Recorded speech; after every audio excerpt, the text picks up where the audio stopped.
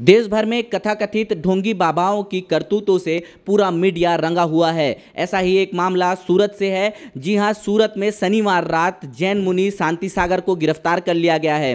Rape के मामले में जैन मुनि शांति सागर को गिरफ़्तार किया गया है।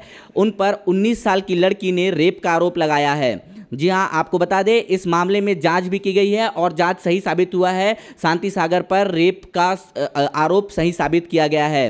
पुलिस, हालाँकि पुलिस शांति सागर से पूछताछ कर रही है और कल उन्हें कोर्ट में पेश करेगी। खबरों की अपडेट्स के लिए देखते रहिए clips dot in. For more information log on to W W W dot clips dot www.clips.in.